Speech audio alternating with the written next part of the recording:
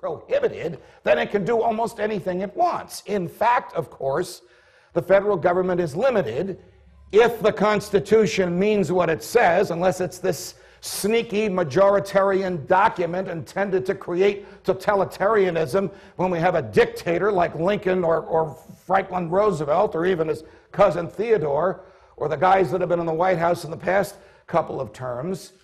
You'll have to decide for yourself whether the Constitution was written to permit that. But we know that at least as you read it, it is one of limited powers.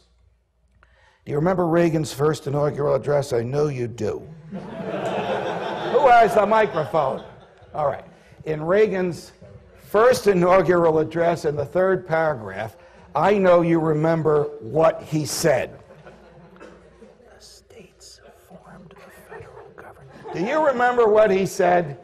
Um, the states formed the federal government. And not the other way round. Now, if your humble temporary professor had been the author of that speech, I would have added, and the power which the states gave to the central government, they can take back.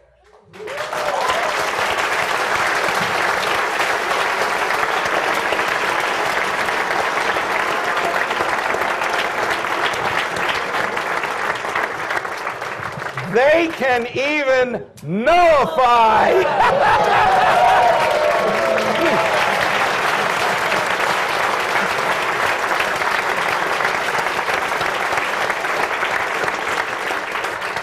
Forgive me, those of you who are my generation, this is the smartest guy in the room.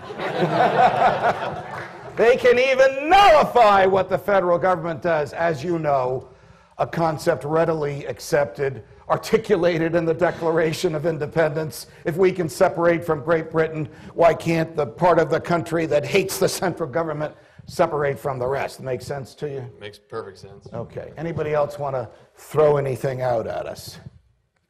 Sir. Um, I think you're an anarchist and you don't know it yet.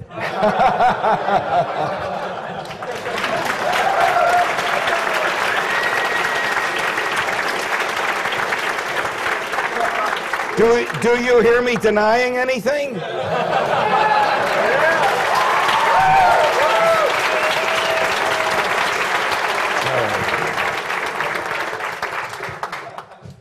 Oh, that's my question. Oh, I thought, I thought there was going to, going to be a follow up.